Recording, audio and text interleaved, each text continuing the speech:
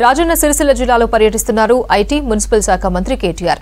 తంగలపల్లి మండలం జిల్లెలలోని జెడ్పీహెచ్ఎస్ స్కూల్లో ఏర్పాటు చేసిన డిజిటల్ క్లాస్ రూమ్ను ప్రారంభించారు కేటీఆర్. డిజిటల్ క్లాస్ రూమ్లో విద్యార్థుల ప్రదర్శనలను చూశారు. వాటి వివరాలు అడిగి తెలుసుకున్నారు. స్కూల్ విద్యార్థులను అభినందించారు కేటీఆర్.